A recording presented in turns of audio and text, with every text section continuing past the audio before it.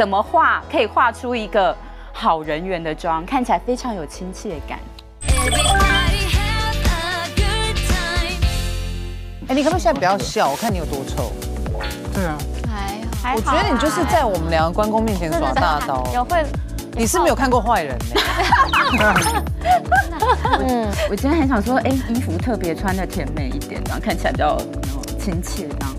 眼睛部分呢，眼睛我会觉得它也是很个性，尤其它现在种的这个睫毛，我有点难难去修改它。我觉得它眉毛不要画到，不要画什么眉毛，眉毛颜颜色不要太多，要淡淡带过。我觉得淡淡的就好。哎，对，眉毛的粗细是不是会跟柔和感？有关系啊，因为现在细细的看起来就跟它的比例尖酸都不刻薄。太对。对，粗一点，那如果要粗平眉，平眉粗平眉粗，平眉粗，好。那但是如果你眉毛把它修掉，你要再补上去就会有点假，你知道吗？嗯，所以如果你真的还有眉毛，你把它留宽一点。好拐懒入门了。对，吼吼吼，真的啦，所以老师眼影是选择是比较粉色系。对，那凶的人有没有什么颜色就是完全千万不可以尝试？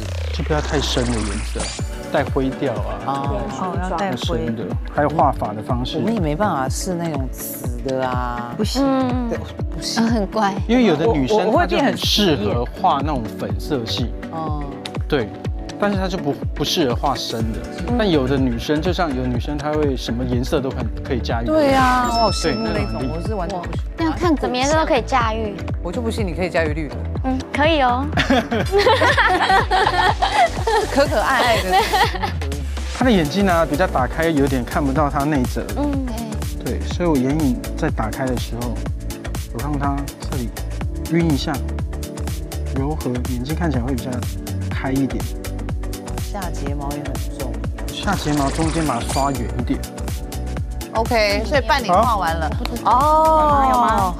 有哎，我喜欢，嗯就是整个横轴。对，画完但眉毛就是如果有毛就画上去会更自然，嗯，不然会变成故意加宽。